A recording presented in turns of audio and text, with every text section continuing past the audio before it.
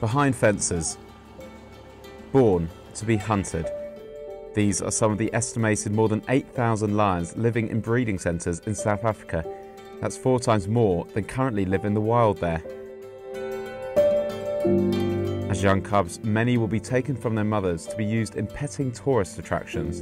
But as they get older and more dangerous to humans, they are often bought for what's called canned hunting. That's when the animal is released in an enclosed space to be hunted with no chance of escape.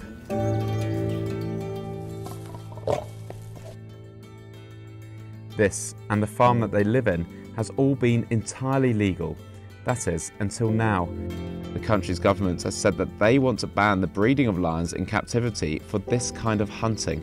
They say they'll issue no new permits and cancel any existing ones for the 300 lion breeding facilities in South Africa. The law still needs to be discussed in Parliament, but it's expected to go through. For animal rights activists, it's a great victory. I mean, can you imagine that all the canned hunting farms are going to be shut down and breeding is not going to be available anymore for people to hunt them? So we take it as with big excitement and we welcome the decision.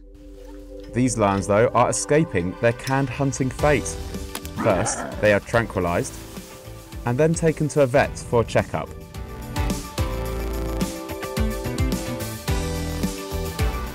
Then, this moment, their first chance to explore their new home, a sanctuary where they'll have space to roam.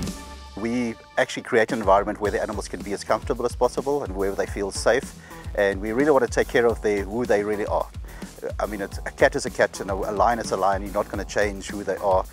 And if you just breed them, put them in a facility where there's no trees, where there's no grass, and just a small little spot where there might be a little bit of shade, um, you know, that's not what we do. We want to create a very natural environment where they can feel like they are still a lion.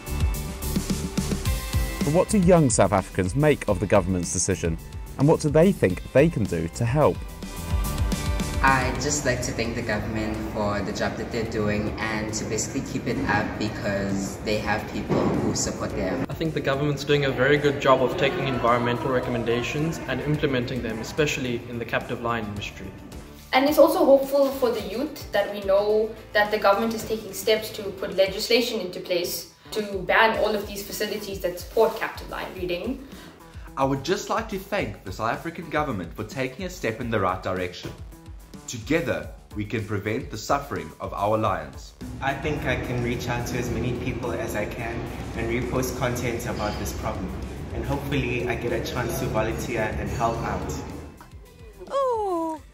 Some say that this industry provides important jobs to a country where three in four young people are unemployed, but not everyone agrees.